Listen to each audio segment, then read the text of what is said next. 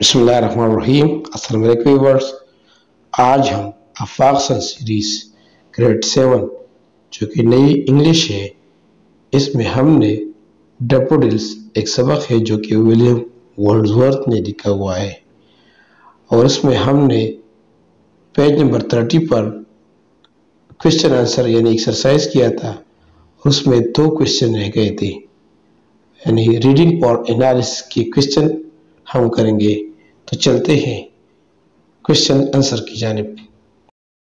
Question number nine how does the point use of vivid imagery such as a host of golden daffodils and fluttering and dancing in the breeze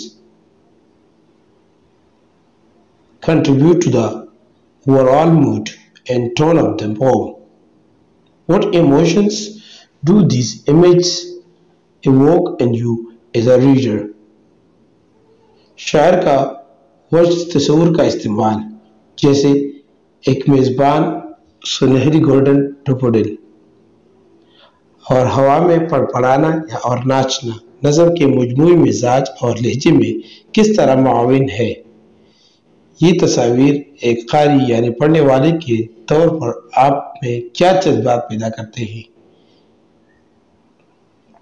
Answer The poet's use of vivid imagery contribute to the overall mood and tone of the poem. In this way, the poet attracts us to natural beauty, so we also get immersed in the beauty of nature. शायर का वश तस्वूर का इस्तेमाल नज़म के मजमू मिजाज और लहजे में अहम किरदार अदा करता है। इस तरह शायर हमें कुदरती हुसन की तरफ़ रागब करता है, यानी उसे अट्रैक्ट करता है। तो हम भी फितरत के हुसन में डूब जाते हैं। Question number two What do you think the daffodils represent in the poem? Are they simplify a beautiful sight?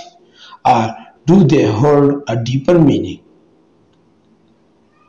आपके ख्याल में नज़म नज़म में डपुड़ यानी अब नरगस किस चीज़ की नुमाइंदगी करते हैं क्या वो महज एक खूबसूरत नज़ारा है या क्या वो गहरी मानी रखती है answer The daffodils represent the beauty of nature and they simplify a beautiful sight as well as it held a deeper meaning in the poet's opinion. Daffodil यानी अबेनगस पितर की खूबसूरती की नुमाइंदगी करते हैं और ये सिर्फ़ एक खूबसूरत नज़ारा है और शायर के राय में ये गहरी मानी रखती है for more update subscribe to our channel